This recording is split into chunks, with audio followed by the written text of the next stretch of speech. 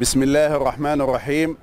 تم بحمد الله اليوم السبت الموافق 2 10 2021 تحميل عدد 12 طن من لحوم الأضاحي لهذا العام وهي موزعة على المديريات الآتية كالتالي الإسماعيلية 2 طن بورسعيد 2 طن الإسكندرية 3 طن الجيزة 3 طن السويس 2 طن وكل عام وأنتم بخير.